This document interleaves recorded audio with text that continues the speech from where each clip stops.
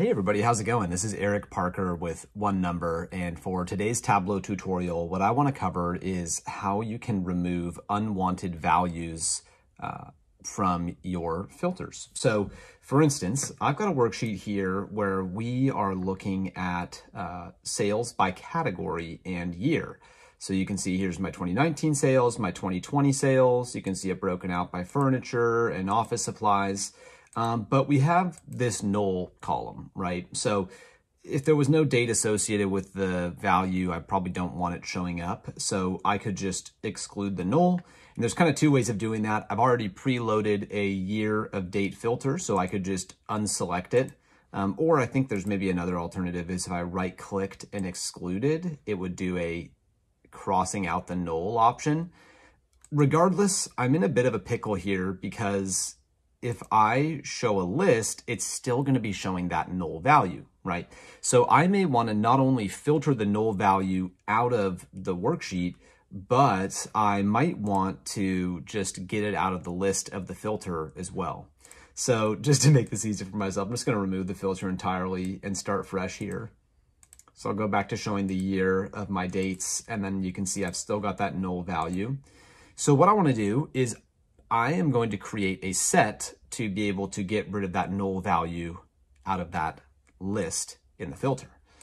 Um, so you might be thinking, what's a set or how is a set going to help us here? So let's just take a glance at Tableau's order of operations. Um, this diagram is directly from Tableau's website.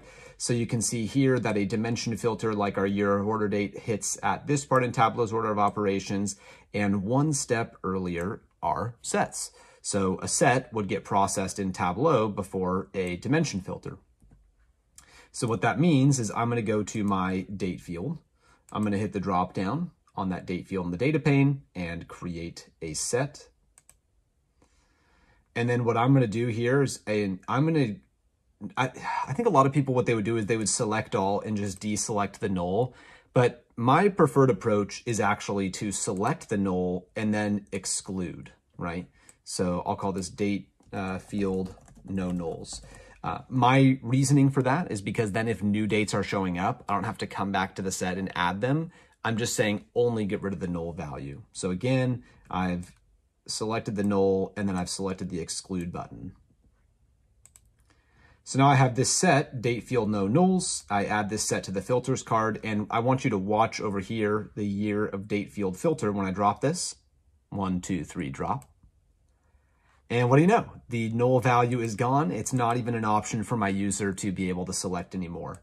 So whether you're trying to get rid of a null or really any other value that you just don't want the user to see, um, you can use a set to effectively pre-filter your worksheet before it gets to the standard dimension filters so that whatever that value or values are that you want to get rid of, um, your user will never see those. So hopefully uh, this answers your questions. If not, feel free to comment below and we'll look forward to catching you here on another video on the YouTube channel of One Number.